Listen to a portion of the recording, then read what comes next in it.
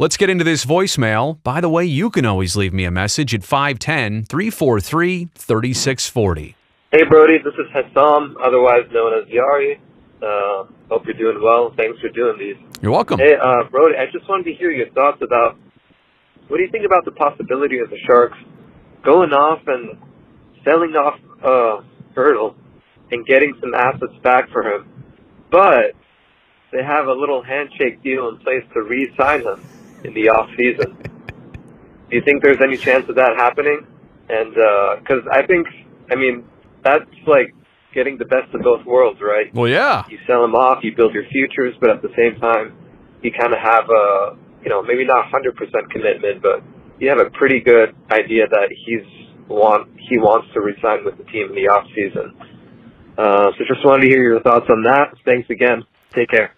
Well, Hassam, thank you not only for leaving the voicemail, but I also know you're a regular viewer on the YouTube channel. So I greatly appreciate all that. And man, you are wheeling and dealing when it comes to number 48, Tomas Hertl.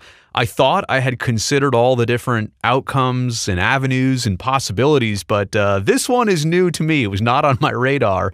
Uh, maybe a little far fetched logistically possible? Yes or no? I don't know. Legally possible with the NHLPA and the league? Can you do this? Um, it's never really talked about publicly. Um, so I guess it's a possibility, um, but I don't really know actually if something like that could happen. So let me get to my notes here. I'll try and answer your question with a couple different responses. I actually want to take this opportunity, though, to first talk about the Hertl contract, what he is probably looking for and what the Sharks are negotiating on. And I'm not sure this has even been discussed yet. You know, you think of a contract in terms of how much money and how many years, right? Compensation and term. I'm not so sure with the Sharks and Hertl if the number one thing is money. Uh, of course, that's important. Of course, that's a backbone of a next contract for any player in the league. But when it comes to San Jose, they're in a better cap situation than they have been in a very long time. I'm starting to get the gut feeling that maybe what they're going back and forth on is more about years.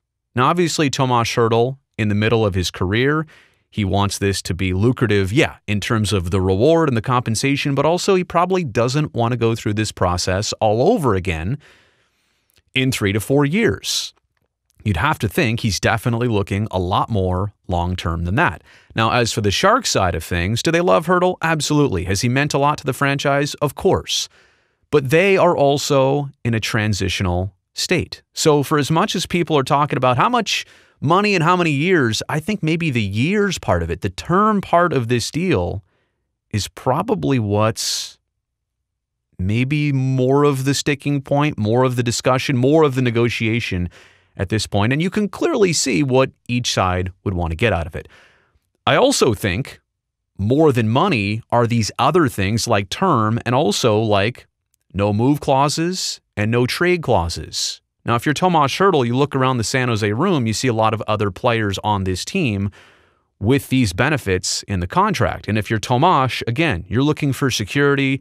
You're not looking to change teams on a whim. You're not you're, you're agreeing to San Jose because you want to be in San Jose. And so you could think that he's probably trying to get these things in a contract. But again, going back to the Sharks, going back to maybe the transitional state they're in. Do you love Hertl now? Yes.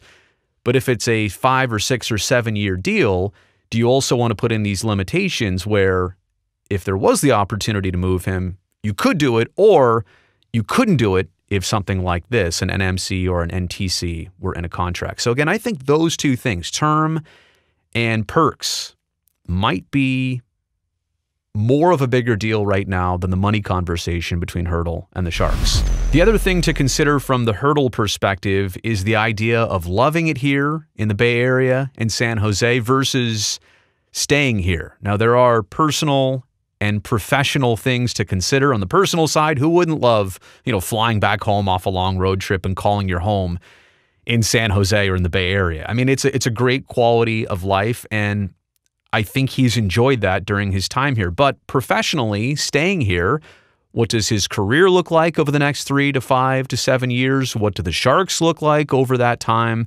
Uh, how much of a transition will they still be in during this span? There's a lot to consider with Tomas. I know some people have said even the way this season has gone might have changed his direction or opinion. I, I don't know about that. I think he's able to see the bigger picture and, and consider what makes him happy and satisfied and hopefully successful. Um, but I do want to point that out. You know, it's assumed that um, Hertl's automatically going to stay here because he always looks happy. Well, yes, but I mean, this is one of those times when you are becoming a free agent that you do take a look at the menu. You see what else is out there.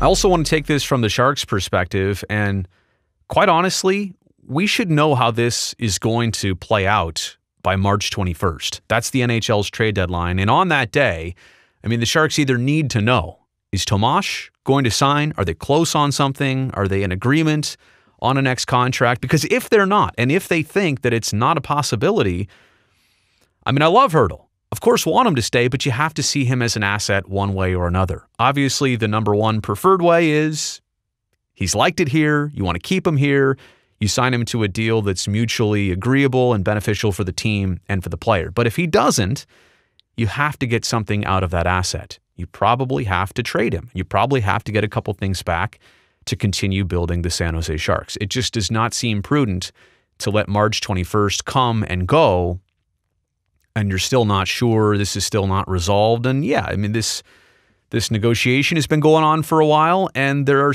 you know still weeks left until something has to happen. But I, I think those are the two likely outcomes. If Hertl doesn't get moved by the deadline, you got to feel like there's huge confidence he will get re-signed. Uh, or if he's traded away, a deal was just not going to happen. Uh, Hassam, going back to your original thought, could both of those things happen? Could he get traded away and then re signed over the offseason? I suppose, but I think I'm sticking with my two likely outcomes here for a Hertl contract.